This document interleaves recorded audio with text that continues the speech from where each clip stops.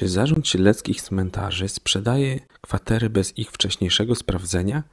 W najnowszym wydaniu Zbigniew Juśkiewicz przedstawił historię państwa Paczuskich, którzy cztery godziny przed pogrzebem swojego syna dowiedzieli się, że ten nie może się odbyć, gdyż wykupione przez nich 13 lat temu miejsce pochówku jest już zajęte.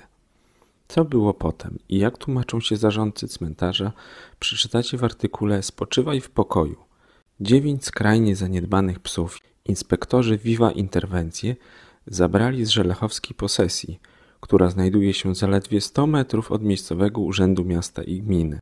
Podobno gehenna zwierząt trwa już od kilku lat. Dlaczego na to pozwolono?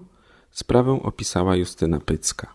Tą historią żyją nie tylko mieszkańcy powiatu garwolińskiego, ale całego regionu. Obiegła również ogólnopolskie media.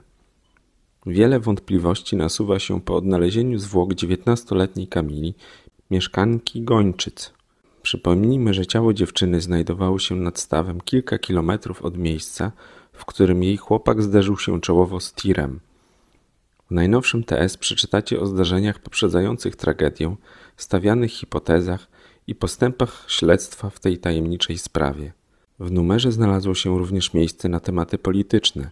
Znajdziecie m.in. rozmowy z nowo wybraną posłanką z ramienia ruchu Kukiz 15 Anną Siarkowską, świeżo mianowanym szefem młodzieżówki partii Korwin Pawłem Wyżykowskim czy Magdaleną Daniel z Nowoczesnej Ryszarda Petru. Zachęcamy do lektury najnowszego wydania Tygodnika Siedleckiego, które znajdziecie w kioskach bądź w postaci elektronicznej na naszej stronie internetowej.